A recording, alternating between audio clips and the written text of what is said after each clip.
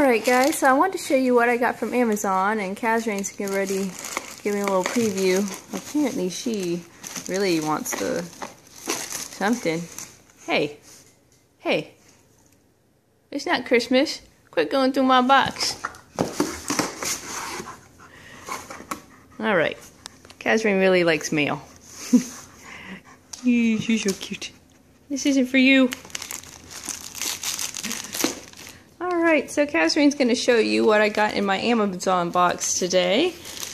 There's so much, she can't pick just one thing. yeah. Yeah. You like Amazon boxes? Okay.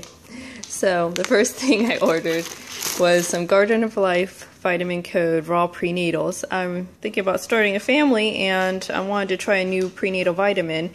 And I started researching everywhere on what to get. And it was important to me it was important to me to get one that had uh, folate in it because folate is the most natural form and a lot of them have folic acid.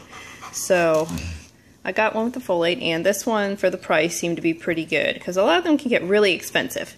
So um, this one I chose and along with that I got some vitamin D3 it's supposed to help with the absorption of calcium. There's a little bit of D3 in the prenatal vitamin, but I wanted to bump that up. I figured you couldn't uh, couldn't hurt to have more. So it places the calcium where it should be in your bones and instead of elsewhere in your body. So I got some of that. I also got some pregnancy tea, all organic, and it's supposed to be really good to take for your body uh, raspberry, it's got red raspberry leaf, oat straw, chamomile, dandelion leaf, nettle, peppermint, and alfalfa. I heard it tastes the best, so try that one. Got some compression socks. Ooh, ooh.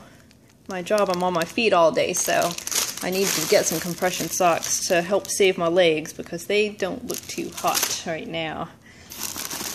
Alright, next thing I got is uh, some Wholemega new chapter this is uh, the DHA portion of the prenatal. I'd rather take something that's separate, separate DHA and separate prenatal.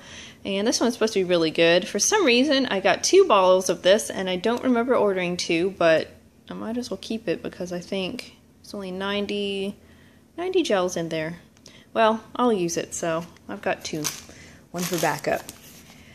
So I got a car charger for my phone. Last time we went up to the mountains, our phones died and we didn't have any way to charge them. So I figured this would be good for on the road.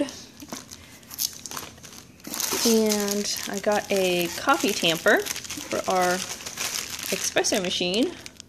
It's a nice heavy duty one, so I think that will make our espresso come out a little bit better. Lately it's been a little on the weak side, so this heavy duty tamper should make it really good.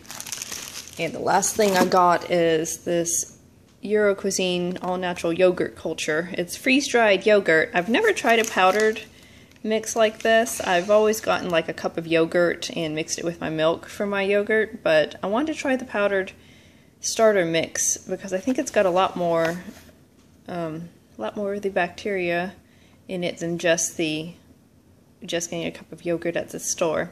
So I'm gonna do a recipe video on how I make my yogurt and I'm gonna do it with this culture so we'll see how it turns out. Hopefully it'll be a lot thicker and tastier. It's supposed to give a really good tang with the yogurt culture. So that's everything I got from my Amazon box and Kazrain is just so enthused. If you like my video, please like the video down below and subscribe to my channel for more videos. Thanks guys, bye!